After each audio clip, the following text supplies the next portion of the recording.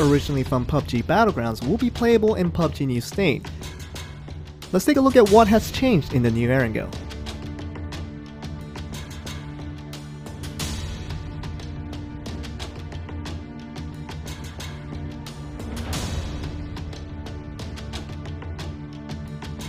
With countless battle royales and constant desertion, much of Erangel has been in ruins for a while. Rebalanced and reinforced for 2051, check out all the changes made to the new Erangel.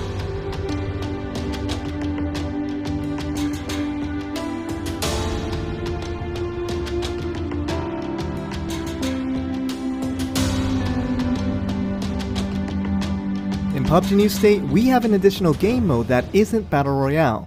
Introducing a 4v4 team deathmatch taking place in our newest map,